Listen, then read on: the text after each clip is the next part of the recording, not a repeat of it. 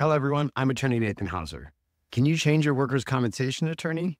Yes, you can change your workers' compensation attorney if you are unhappy with their representation. Here are a few reasons why clients might want to change their workers' compensation attorney. You can't speak to somebody at their office. Your attorney doesn't get back to you. You're left in the dark entirely about where your case stands, and your attorney has poor communication skills. They lack the expertise.